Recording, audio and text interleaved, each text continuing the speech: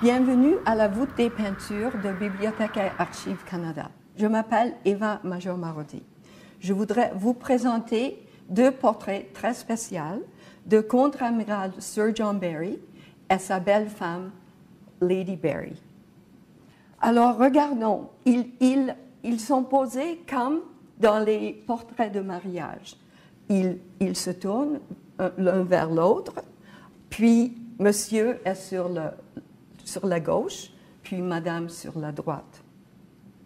Mais regardez comment tous les deux nous regardent. C'est comme ils sont prêts à nous parler, à, nous communiquer, à, nous engager en conversation.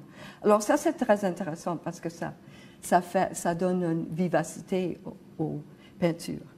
Puis regardons comment ils sont habillés. ils sont habillés assez simplement, mais le, peintre voulait ajouter un peu de brocade pour montrer comment il pouvait faire les tissus très intéressants dans la peinture. Puis euh, Sir John porte une perruque, une grande perruque brun, puis le cravate, puis euh, les dentelles à la manche.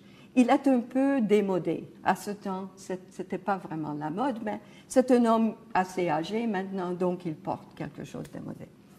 Puis, comme euh, Lady Barry, elle porte une robe assez simple. C'était exigé des, dames du XVIIe siècle qu'elle n'était pas trop, trop habillée avec trop de, choses pour montrer la richesse.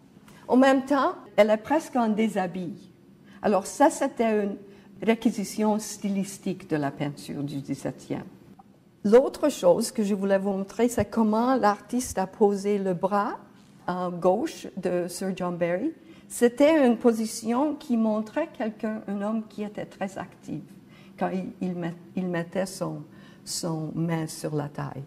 Sir John Barry est posé dehors avec des roches et un peu de, de, feuilletage euh, derrière lui. Puis il y a aussi un navire à sa gauche.